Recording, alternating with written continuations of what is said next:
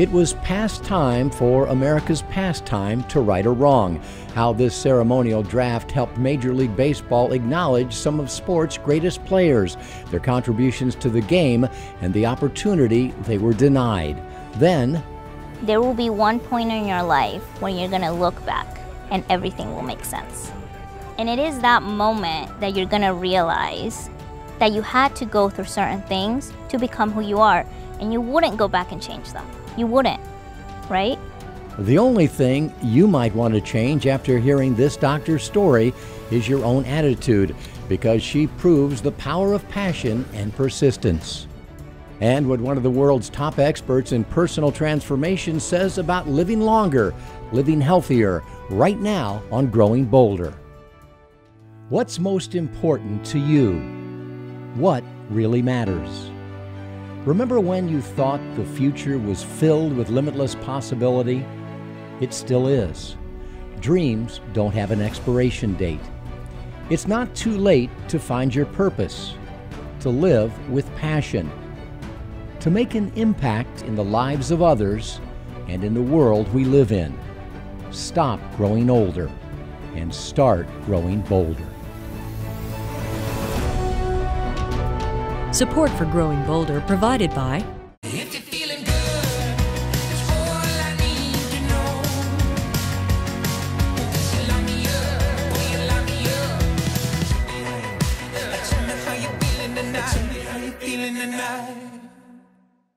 Hi, I'm Mark Middleton, and this is Growing Bolder. They had the skills to play in the big leagues, but they were denied that chance because of the color of their skin. In a symbolic gesture of goodwill, Major League Baseball drafted 30 former Negro League players, the last living links to Jackie Robinson and Satchel Paige, and celebrated those that it once excluded. A gesture that many believed was too little and too late, but there's no question it did mean a great deal to those who heard their names called. Oh, this is one of the greatest days of my life because uh, I'm being recognized for something that I, I probably not, didn't ever think I would have the opportunity to do.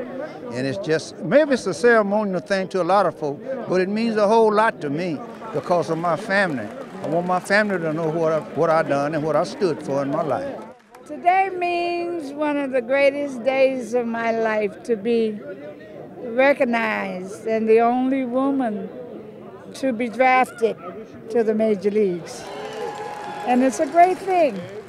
And I'm very pleased and very, very happy about that. Jackie Robinson broke the color barrier back in 1947, but it took more than a decade after that for many teams to finally integrate. So many of his contemporaries, players like Skinny Legs Blair and Mamie Peanut Johnson, were denied the opportunity until the late 1950s.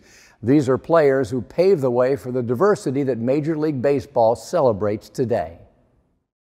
It's a day decades in the making. Major League Baseball taking another major step to fix a historical wrong. These are all Negro League players who were denied access to Major League Baseball because of the color of their skin.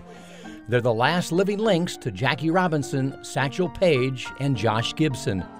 In a largely ceremonial draft, every major league team will select one player, giving each a little money and a lot of love. It was tough on a lot of them, you know, knowing that they couldn't go any further, and then all of a sudden when it did open, they were too old to get, get there. So I mean, it, it's a shame, but at the same time, I'm, I'm just, you know, it, it's an important thing that we do recognize.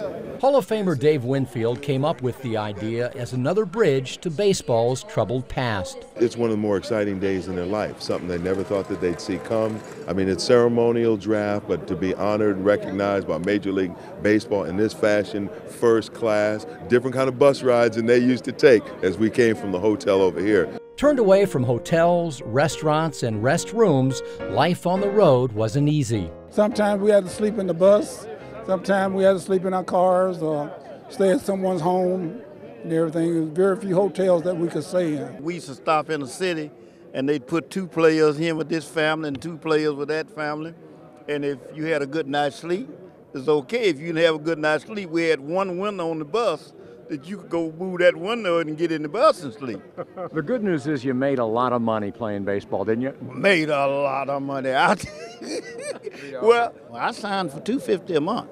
The Houston Astros select a pitcher from the Detroit Stars and Cincinnati Clowns, Bill Skinny Legs Blair. Bill Blair was the youngest black sergeant to serve in World War II. He was allowed to fight for his country, but not allowed to play in the majors.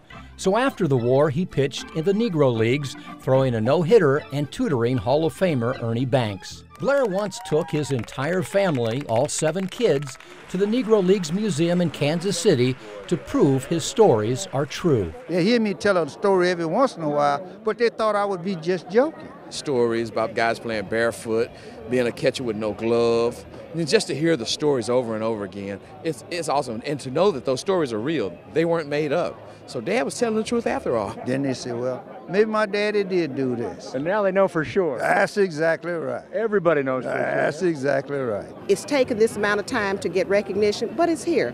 And it's not about money, it's about recognition of what you did, what you brought to the game, respect for the game. And I am very, very pleased with Major League Baseball for, for doing this. Blair appreciates the recognition, but what he values most is the opportunity to reconnect with close friends he thought were lost forever. His mother passed, he didn't shed a tear at her funeral. He loved her, but he had to be strong for us.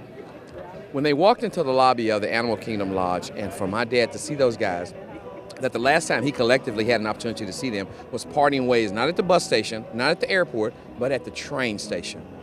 But to see these guys and ask about somebody and not know where they were, and then to see them now, my dad broke out in tears. That got me. It touched me and it touched my whole family that my dad would be that emotional.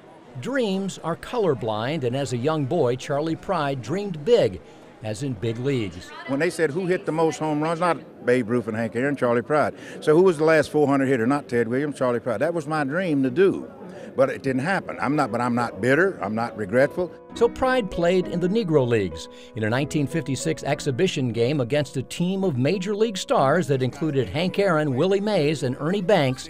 Pride struck out 12. He then left the game and applied his determination to building a career in country music. I'm convinced that I'll never be able to go to the, to, to the Hall of Fame in, in, Cooperstown, but I'm in the Hall of Fame in country music, and that's good. But I would, it would have been nice to be in both of them. You see what I'm saying? I got yeah. you. Major League Baseball also excluded Latino players who were welcomed by the Negro Leagues. Emilio Navarro is a member of the Puerto Rican Hall of Fame and the oldest living former professional baseball player in the world. I am the man here, the oldest man, 102 years old. 102 years old. Huh? You're not that old. No, I am 102 years old. I am the oldest man over here. By all accounts, Navarro was one of the best infielders of his era. Everybody said that I was the first, the best second base in that time, but they paid me only $100 uh, uh, a month.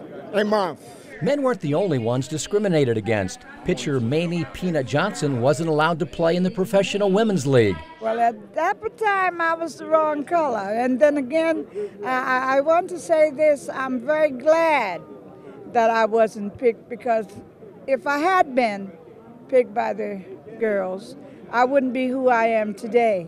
And, and, and this makes me very, very proud to be who I am today. Mamie was given a shot by the Negro Leagues, becoming the first woman to play in a men's professional game. The great Satchel Paige taught her how to throw a curve. Johnson won 33 games between 1953 and 1955 and today achieves another historical first. Today means one of the greatest days of my life to be recognized and the only woman to be drafted to the major leagues. How did it feel? What was it like for you to strike out some of the best players in baseball? Beautiful, beautiful. That's how I got the name Peanut.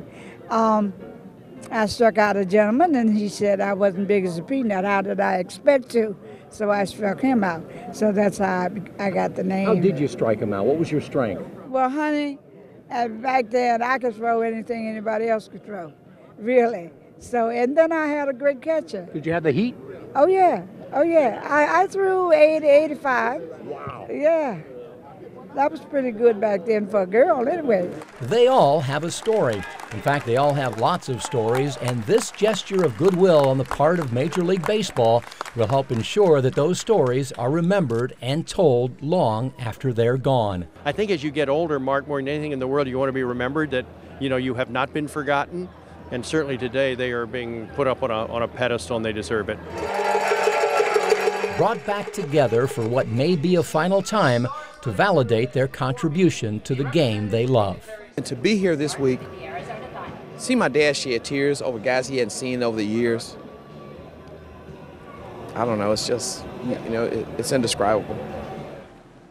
Sadly, there is a rapidly dwindling number of survivors of the Negro Leagues, and since statistical records are sparse, it's important to capture the rich and the revealing oral history of the game before it's too late. And one of the people that you saw in that story is Pat Williams. He's an NBA executive, an author, cancer survivor, and occasional contributor to this show. Pat was diagnosed with multiple myeloma, an incurable age related blood cancer whose incidence continues to rise worldwide.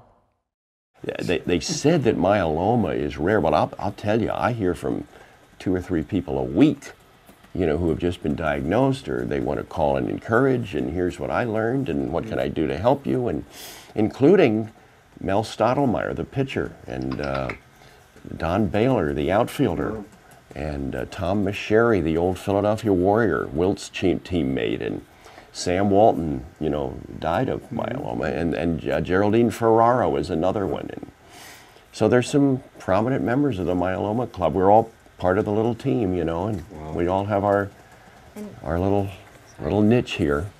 Immediately after he was diagnosed, Pat told just about anybody that would listen that his mission was remission, and we're happy to say mission accomplished. Pat continues to work for the Orlando Magic. He's written nearly a dozen new books since his diagnosis and is a passionate advocate and fundraiser for multiple myeloma research. You know, when it comes to growing bolder, there's no age requirement. You can be 72 or you can even be 27. The question is, do you want more out of life? You know how nobody ever likes to stand out in a crowd? It's always safer to blend in. Well, you're about to meet someone who never really had a choice. A birth defect left her with no place to hide. She either had to give up or get over it. So she took a leap of faith and decided that if you're going to stand out, you might as well stand tall. I'm Jessica Fernandez. I'm 27 years old. I have spondyloepiphyseal dysplasia, which is, if we break it down, spondylo is spine. Uh, epiphyseal is it means the end of bones. Dysplasia, it's basically the abnormal growth of cells. As a result, Jessica stopped growing at just 4 foot 2. Yes, she's had neck, spine, and hip problems nearly all her life, but she's also had goals, hopes, and dreams. I didn't see myself as being any different than anybody else. And my mom would always tell me, Jessica, remember that the only thing that matters is what's in here and what's in here, right? Your mind and your heart. And and I would say like, why is mom telling me this, you know? You're not someone who can blend in. No matter what you do, you're going to stand out. How did you learn to embrace that and use that as a tool? Yeah, well, Bill, I don't know if you've heard this quote that says, "Why would I want to fit in when I was born to stand out?" Was it was it hard to find your purpose? A lot of things have been hard in my life. That hasn't been one of them. Thankfully, I'm very that is a blessing. My purpose has always been in my heart and and that's one of the things I focus on when things get difficult is I'm I'm made for a greater purpose and I need to follow that purpose. She wanted to be a doctor, to specialize in pediatrics. She had the grades for it, but would she be allowed to? Where over 20% of Americans have disabilities, only 2% of practicing physicians do. I had many rejections from medical school. Rejection letter after rejection after rejection letter, and UCF said, yes, we want you, you know? And that was, that's huge. They opened the door for this. But after being accepted by the UCF College of Medicine, the pressure was on Jessica. And that's just the way she likes it. I have a lot of inner strength. I mean, and even, you know, um, it, it comes out in my body might be a little bit different than everybody else's, but I'm definitely very hard to break. Do you get the feeling that, that people are always kind of saying, all right, let's see how she handles this. Oh, let's see what she does in this instance. Oh, let's see how she carries herself.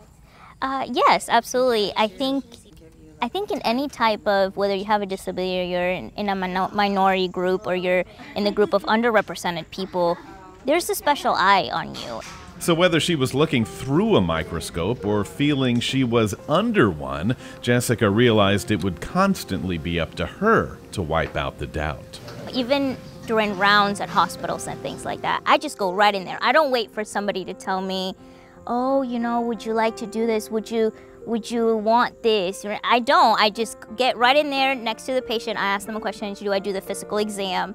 And then all of a sudden, you know, the attending physician or the resident that I'm working with are kind of like, okay, that just happened, right? That she just takes initiative, right? And I think that's really important to break that barrier of fragility. Yeah, of course. Ready? You know what? One. You putting it?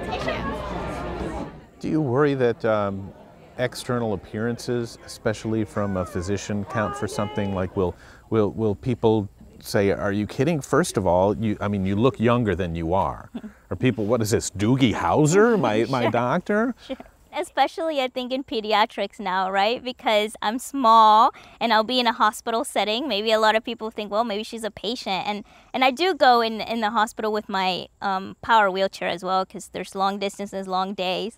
So that helps me out. So but that has happened where they ask me, you know, are you a patient? But most times I think it's just in your in your attitude, right? How you portray yourself. It's almost like how you walk in a room, right? And they just automatically know. Like there, there's a presence there.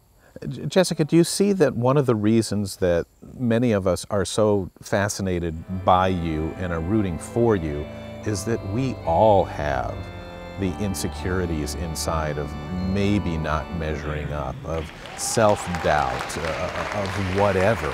And we can see that manifest in you and are saying, man, if she can get through hers, maybe I can get through mine. That is exactly my message. It's that's why I'm sitting here right now speaking to you is the fact that we all struggle. It doesn't have to be a disability, it doesn't have to be something physical. It can be anything and it, it, everybody, right? Everybody has their cross to carry and and and we have to be there for another. We're placed on this earth to help the next person next to us, right? You've authored an amazing story up to here. What's the rest of the story? Whew, that's still to be written, Bill, I think. Boy, that's all you need to see to just know that she's going to be a success. So here's what we can learn from Jessica. First, it's on you to take the initiative. How can you really know what's out there unless you step out of your routine and take a look? Second, rejection is part of the process. Don't be afraid of it. It pushes you to make adjustments, to sharpen your focus, and to find the right path. And finally, you've got to stand tall. How you walk in a room makes a big difference. You need energy and attitude, no mumbling, no blending in. If Jessica can stand tall at four foot two, then so can you. My energy is the same uh, as it was um, when I was 30. In fact, if uh, anything, it's more. So I think of aging as having different aspects. There's this chronological age, which is 71. There's biological age, which is probably 35. And there's psychological age. I'm still deciding what I'll do when I grow up. I think we have to focus on health span as we also focus on lifespan. I don't see any reason why you can't have the wisdom of experience and the biology of youth at the same time. So I see a bright future actually for living longer, living healthier.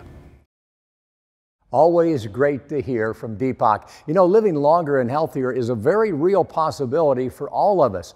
A 65 year old woman who is living in the U.S. today now has a 25% chance of celebrating her 100th birthday, and soon it may be 50%. So, what's next for you? What are you going to do with those extra years? You can get more tips, tools, and resources from Deepak Chopra and other Growing Bolder contributing experts at growingbolder.com/launch. We are standing on an iceberg. There's the ocean tramp. Here's me standing on an iceberg. Sea ice. You know, our own Wendy Chioji is a great example of someone who has chosen to defy expectations and live every single day to its fullest. Wendy battled and beat breast cancer, only to be diagnosed years later with a rare and incurable form of cancer that's called thymic carcinoma.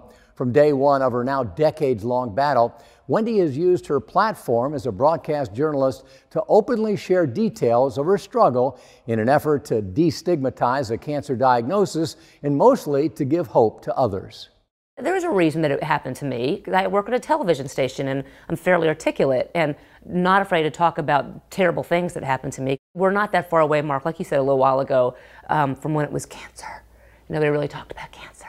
Um, and for me, with the television station and however many thousands of people watch every day, I can shout it, it's cancer, and I'm a survivor, it's cancer.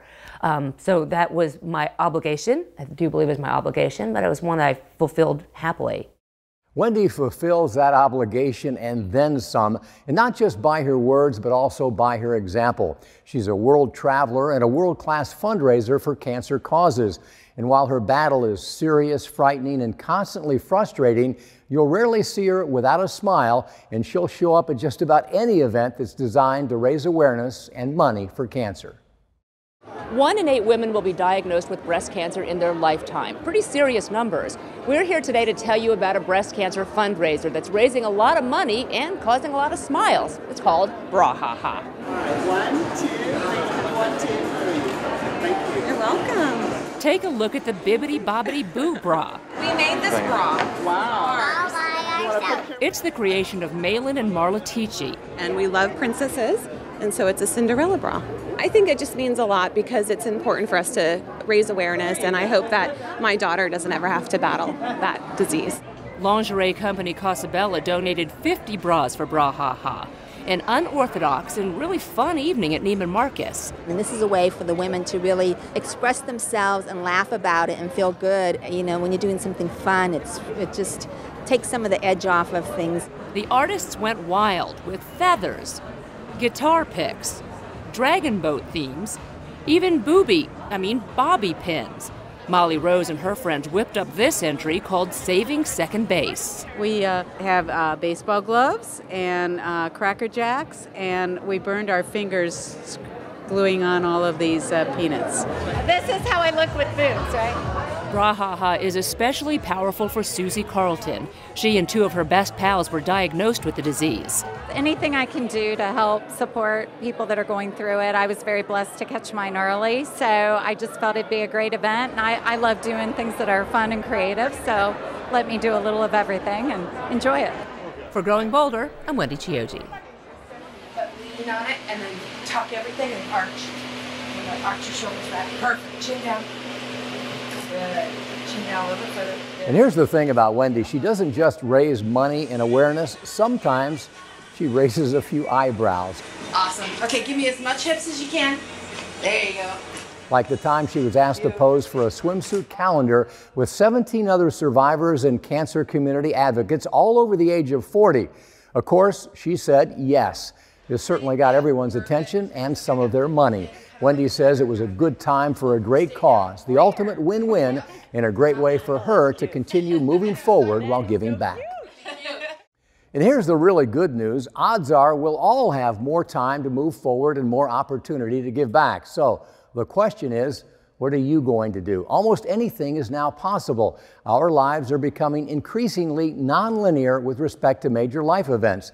There's no longer any arbitrary age at which we automatically transition from one life stage to another. There's no predetermined series of milestones that are attached to a calendar.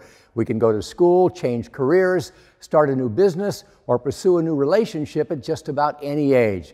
We can start or work for a nonprofit, run for office, or campaign for candidates who support our positions. We can join the Peace Corps, start a blog, or build a website. Did you know that the fastest growing group of first time entrepreneurs is now women over the age of 50? Yes, almost anything is possible, which is why we need coaches, guidance counselors, role models, business incubators, and educational opportunities, all geared toward men and women in their 50s, 60s, and 70s. Most importantly, we need a new belief system because when imagining what's next, we're all limited by the accepted boundaries of possibility, and those boundaries have been inaccurately drawn by an ageist culture. For most of us, now is not the time to wind down. It's the time to gear up for what's next. Now is the time to start growing bolder. We'll see you next time.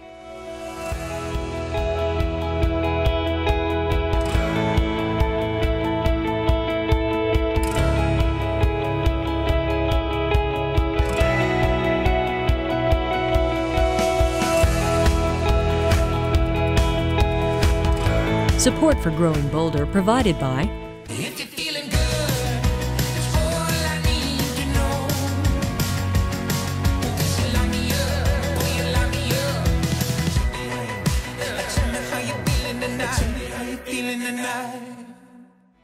More information about all of the stories you've seen here today is available at growingbolder.com/tv. And you can get inspired to keep rebranding aging when you connect with the Growing Bolder community on Facebook. Growing Bolder apparel is available for $25 plus shipping and handling. A companion book, Growing Bolder Defy the Cult of Youth, Live with Passion and Purpose by Mark Middleton, is available as well for $25 plus shipping and handling. And you can subscribe to Growing Bolder magazine, four quarterly issues for $29.97 a year. Order online at growingbolder.com/tv.